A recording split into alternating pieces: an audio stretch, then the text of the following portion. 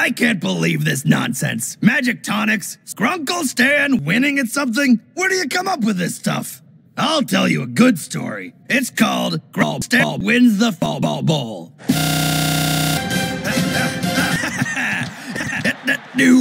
Mr.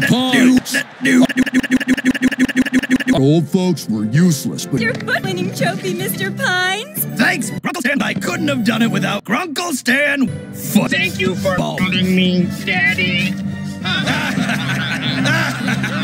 I love you, Grunkle Stan. Come on. Incredulous. Dumb. What? That story was great. I even threw in a Grunkle Stan for the kids.